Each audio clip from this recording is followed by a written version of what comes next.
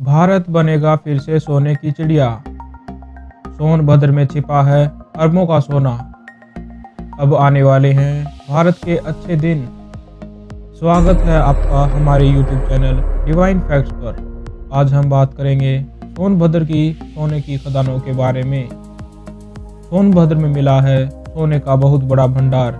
सोनभद्र में पाया गया यह सोना भारत के कुल स्वर्ण कोष का लगभग पाँच गुना है। जिसकी कीमत तकरीबन 12 लाख करोड़ रुपए होगी। विश्व स्वर्ण परिषद के मुताबिक भारत के पास इस वक्त 626 टन सोने का रिज़र्व है।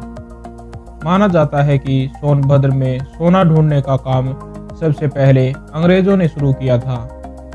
उत्तर प्रदेश का सबसे बड़ा जिला सोनभद्र, चार राज्यों, मध्य प्रदेश, छत्तीसगढ़, झारखंड और बिहार की सीमाओं से लगा हुआ है।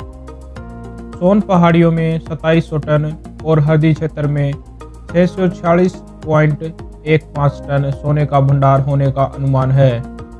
सोनभद्र के कोन थाना क्षेत्र के ग्राम पंचायत पड़रक्स के हरदी पहाड़ी में वर्षों पहले सोना मिलने की पुष्टि संबंधित अधिकारियों ने अब की है। आपको बता दें, हमारी जानकारी के मुताबिक पहले नंबर पर अमेरिका है, जिसके पास आठ हज़ार एक सौ तैतीस पॉइंट पाँच टन सोने का रिज़र्व है। जर्मनी के पास तीन हज़ार तीन सौ छियासठ टन तो वहीं तीसरे नंबर पर अंतर्राष्ट्रीय मुद्रा फंड के पास दो हज़ार आठ सौ चौदह टन है। इसके बाद इटली, फ्रांस और रूस का नंबर आता है। अगर आपको यह जानकारी अच्छी लगी तो लाइक, शेयर और सब्सक्राइब ज़रूर करें और बने रहें हमारे चैनल के साथ। धन्यवाद।